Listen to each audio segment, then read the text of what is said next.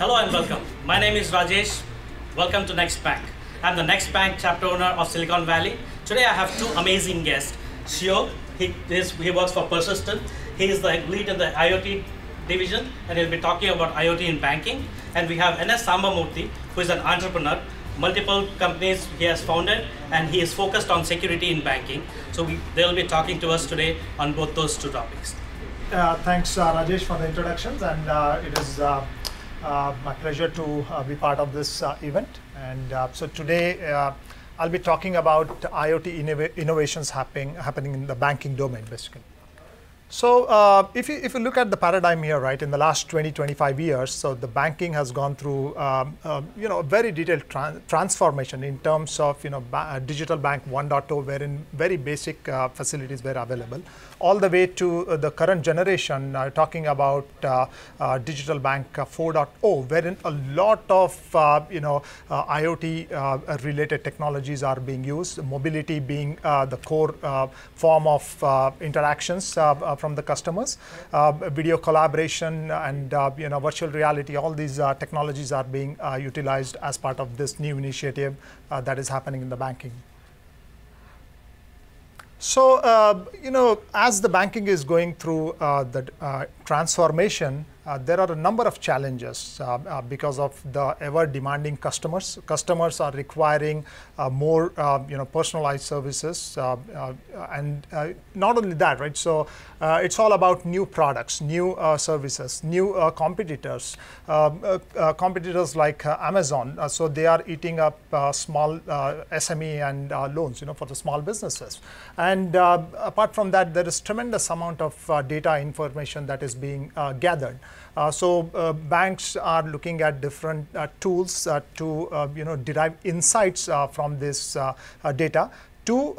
first is provide better customer experience, provide you know ways for customer retention, and at the same time look at avenues for new revenues for the banks. Uh, so if you take a step back and uh, look at what's happening in the industry uh, with regards to Internet of Things, IoT, uh, so there is a lot of investment uh, that is being made uh, across the industry. So if you um, uh, look at this uh, chart, um, manufacturing is at the very top, and you see finance sector, banking right in the middle.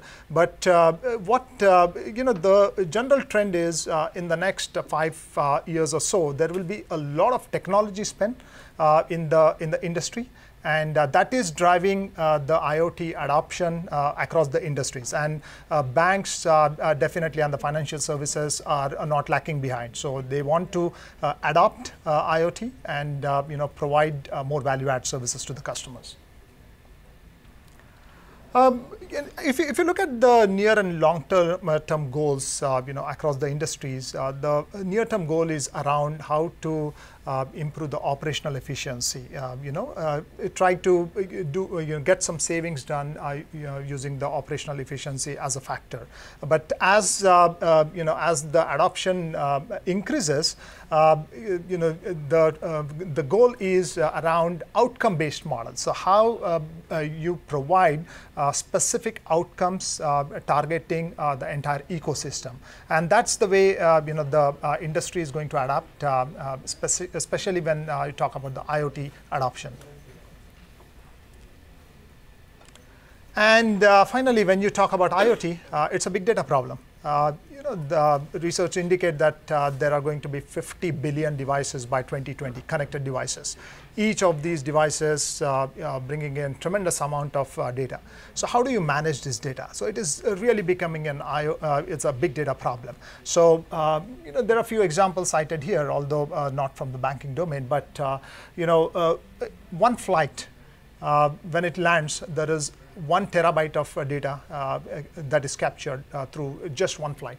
Just imagine uh, how many flights uh, you know operate just in the U.S. on a daily basis. So this is a, a tremendous you know problem at hand. And uh, similarly, in the banking domain, uh, customers are using uh, mobile devices. Customers are using uh, wearable devices uh, for uh, interactions. And all the data, when you capture that data and you have millions and billions of customers, then it bec really becomes a big data problem, and the challenge is how you derive insights from this for better customer experience and services. And uh, this is just an example of the uh, sensor installation uh, in the financial services industry. Uh, so we talked about 50 billion connected devices uh, across the industries.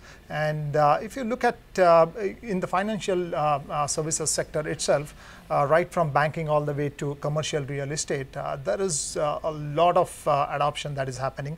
A lot of sensors will uh, uh, get deployed, right from beacons all the way to you know connected connected LED lights. So there are numerous types of sensors that gets um, installed in, in, in these domains. And uh, obviously, large banks are not uh, lacking. Uh, so they are ahead of the curve. Uh, uh, they are basically uh, doing that IoT adoption, but today at a small scale, but eventually it's going to grow.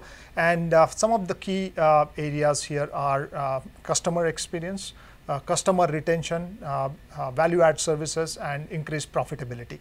so they're already seeing, you know, increased value through the M2M IoT installations. And uh, if, you, if you look at uh, a digital bank today, right, so, uh, you know, talk about virtual reality or, you know, automated tellers. So a customer goes in, uh, in inside a, a, digital bank. Uh, if uh, one teller is busy or all tellers are busy, uh, there is an option to, uh, you know, um, uh, go and talk to a virtual teller to give advice.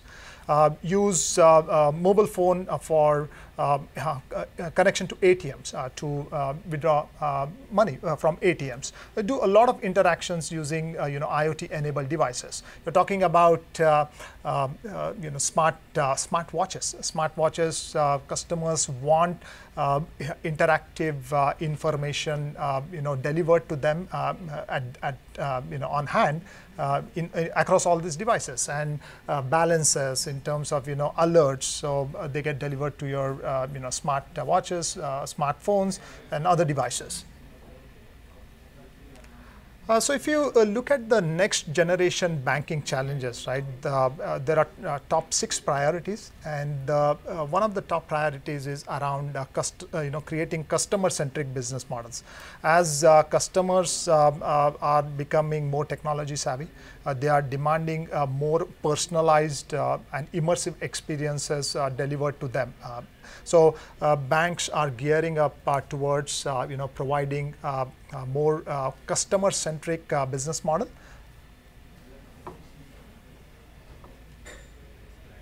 And uh, if you uh, if you look at this, right? So uh, you know, banks when they are going through this transformation, today they have a 360 degree view of customers in terms of their transaction data, demographic data, behavioral data, and uh, social data, interaction data. So uh, currently uh, banks have a 360 degree view of a, customer's banking profile.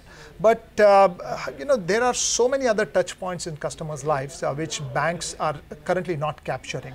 So how do you do that? So in terms of uh, you know capturing uh, that data, are there uh, what are the additional touch points uh, that you see? And uh, if you look at the additional touch points, IoT plays a very critical role here. you talk about your home automation. You talk about you know automotive connected cars. talk about you know healthcare wearable devices. So there are a lot of uh, you know IoT related uh, touch points in customers' life that can be uh, captured along with uh, a banking profile uh, to uh, create a more personalized and immersive experience. Uh, so, uh, you know, again, uh, we put together, this is our thought process in terms of, you know, how can bank, you know, approach this problem in terms of transformation. Uh, so uh, on the extreme right, uh, you see there is a banking profile of a customer, and banks have 360 degree view of that customer. But there are so many other profiles. We talked about health profile. We talk about you know automotive profile or social profile.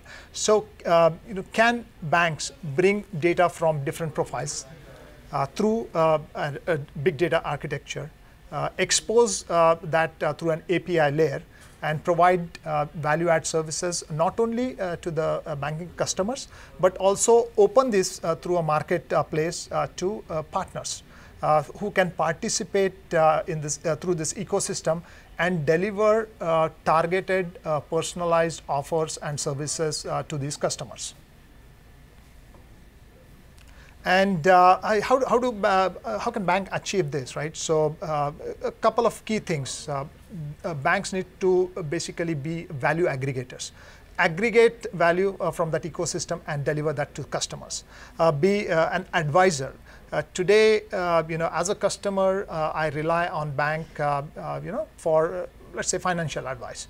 But at the same time, uh, can bank capture uh, various customer touch points and uh, you know be be an advisor across all the touch points? and finally, a facilitator you know, as a customer, uh, I, I would want one-stop shop for me, right? So wherein all services uh, can be delivered uh, through one channel. And uh, that's where uh, banks can uh, play a very important role in terms of, you know, aggregating that data, uh, and creating uh, some or facilitating and advising the customers uh, throughout their journey. And if you uh, if you uh, you know see uh, see this particular slide, right? Uh, if you take uh, just a banking and uh, a business case of mortgage lending, Uh, what is the uh, you know what is the uh, you know typical outcome that gets associated with mortgage lending in the banking domain? so home management. You know, if you, typically you you know take mortgage loans through a bank or other financial institutes.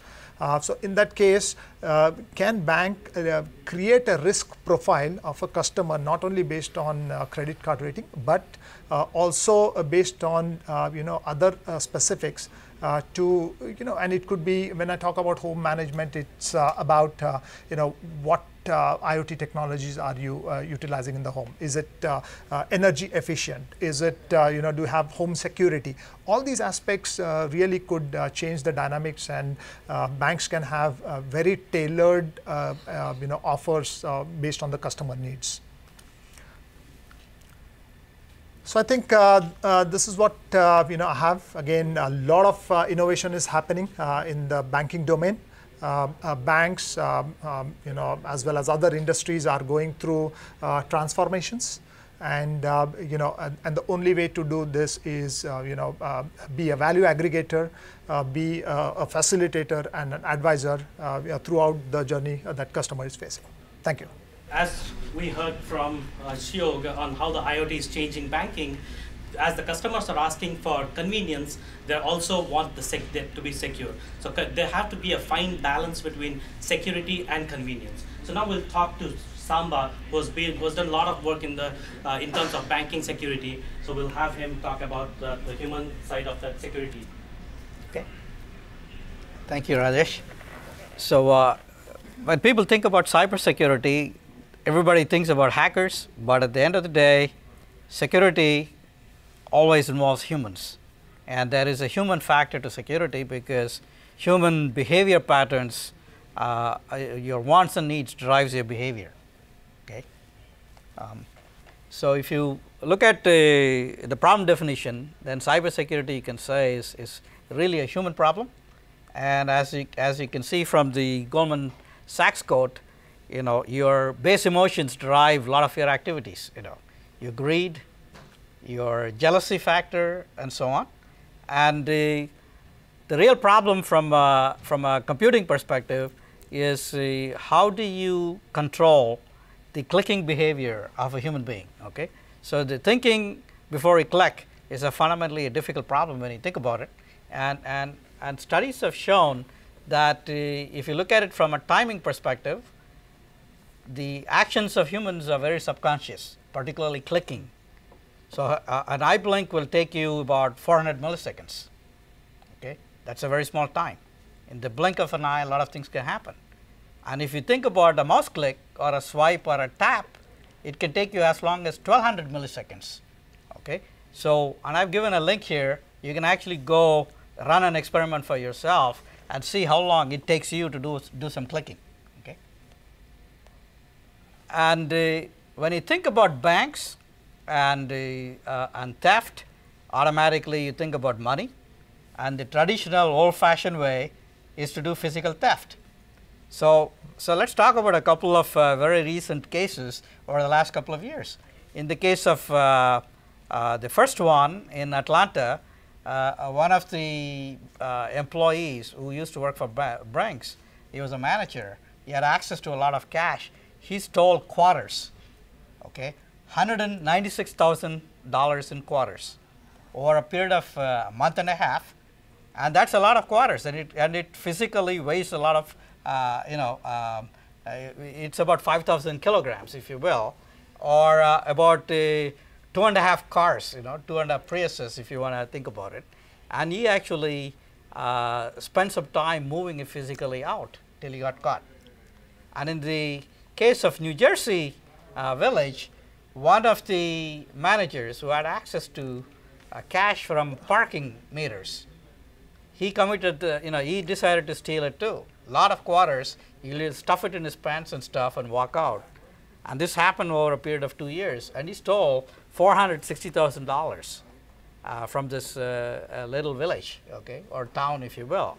And again, that's a lot of quarters. Physically, it weighed quite a bit. You know, it's about it was about 11,500 uh, uh, kilograms, if you will right. So, it took a lot of effort for him to move it out. Okay.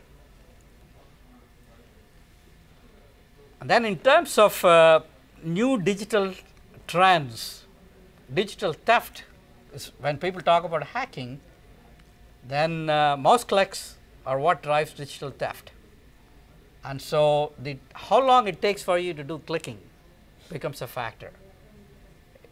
And if you look at round trip delays today, thanks to technology, end-to-end propagation delay, uh, particularly in this uh, particular diagram I am showing you, it takes about 100 milliseconds round trip.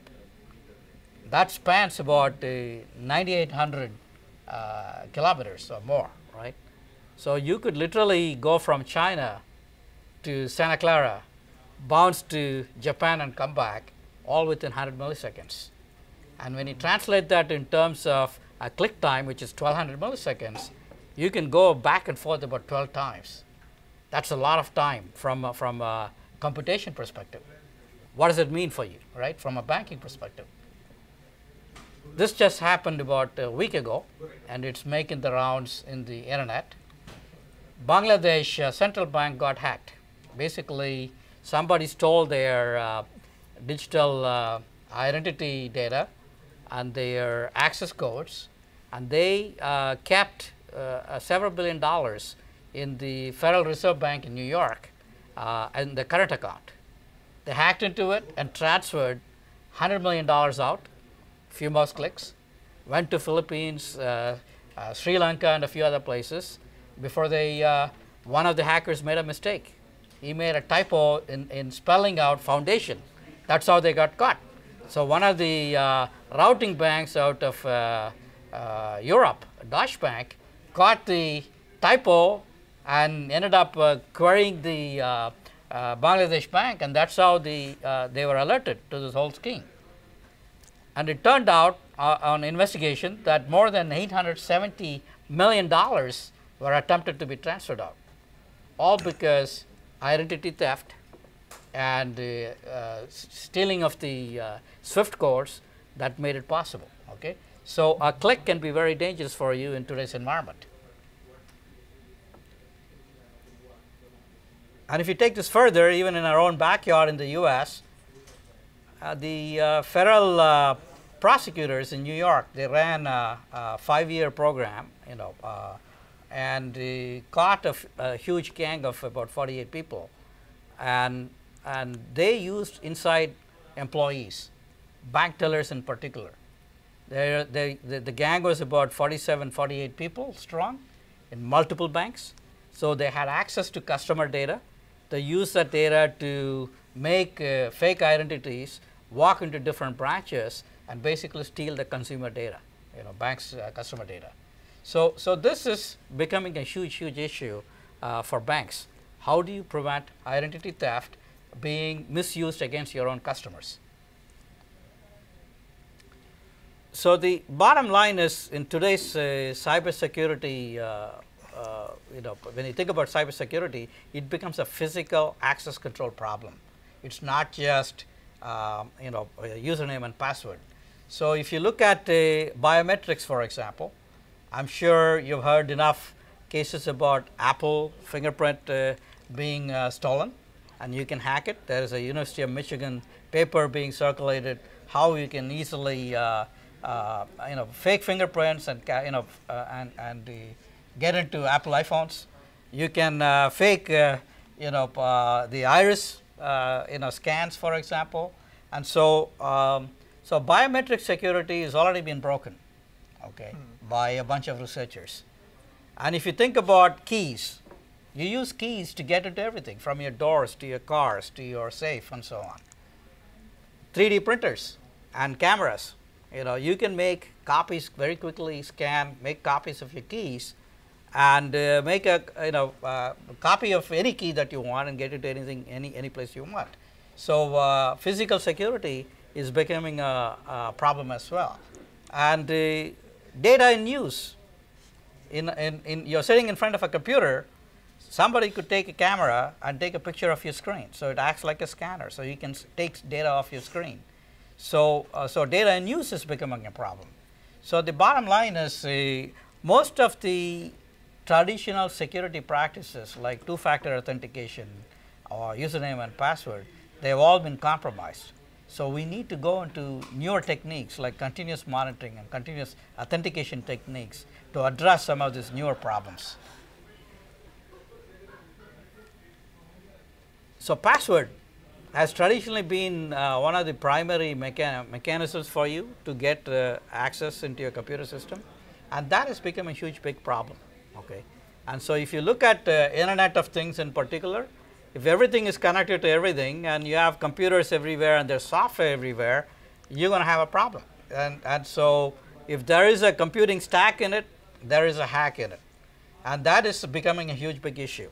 And if you look at most companies today, uh, there was a survey done uh, a few months ago, 52% of the companies, they all employ perimeter security as a strategy, meaning it's a moat and castle type of defense and if you penetrate the perimeter defense, you're done. Okay? So those traditional practices don't work anymore. So and if you look at password itself, it doesn't work anymore and there's a lot of uh, experts running around and making a lot of recommendations. And the reason why it doesn't work is because it works against human nature. If you ask somebody to, as a human being, saying, keep passwords long and complex, keep changing it frequently and so on. It works against your fundamental nature. So what do people do? They use 1, 2, 3, 4, 5 as a password. Okay? So uh, it becomes an obvious thing. And you ask them to say, hey, you know, make it more complex, you'll say, this is super password. Okay? So it's, it's human nature. The hackers themselves getting smarter. So it's a cat and mouse game. And if you remember the old uh, Mad comics, it is the black, black spy versus the white spy, and it keeps going, going and going, all right? So the bottom line is the old practice of using static controls no longer work effectively. And the, all of the RSA tokens and so on, they've all been hacked. So what is the answer? The answer is you got to look at continuous monitoring and continuous authentication techniques to get around some of these uh, uh, hacker mechanics that people are using to break your system. So to summarize, human factor is your Achilles heel for security. Okay? The key question that enterprises and banks have to ask themselves is, what can I do to make the employee think before they click, before they do something stupid, intentionally or unintentionally, right? That's the key key factor. You got to get into their head right? And which means you need to monitor continuously who is getting on your network, what are they doing, how are they doing it, and what are they trying to do, which means you have to compute the context constantly. Are they opening up a file, putting it into their USB drive, or are they attaching it to an email and sending it out? Are they showing that data to somebody else? Are they trying to take a picture of the screen and so on? Okay, so so the Bottom line is continuous authentication and monitoring is very, very key going forward. And, the, uh, and along with this, you got to have an audit trail which is uh, verifiable, an immutable uh, you know, uh, record, if you will, that keeps users, you know, users honest, if you will, right? And so, uh, so this, this is one of the ways for you to address user behavior patterns as you go forward. Okay. So the summary is uh, you know uh, user behavior controls and how you address um, uh, security is really a, a human-oriented factor, and and I've been involved in uh, in uh, research for the last five years, uh, trying to bring some of these techniques into the marketplace as a solution. And you can see my background here. If people want to get in touch with us, we'd be lo we'd love to interact and engage in a debate. And we are interested in engaging with banks, for example, and we're working with Persistent uh, to try some proof of concept with a few banks with some of the techniques, and it's gone very well. Thank you, Samba. Thank you. Thanks for all coming here. And I really want to thank Persistent for sponsoring our first Next Bank event. Thank you, Persistent. And thanks, Samba. Thanks, you. I appreciate you talking about these great things here. And the audience, thank you for coming here.